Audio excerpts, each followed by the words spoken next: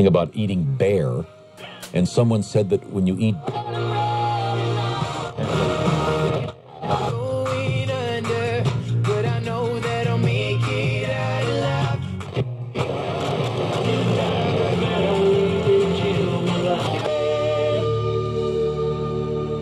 Today's Q106 Morning Show with Jackson and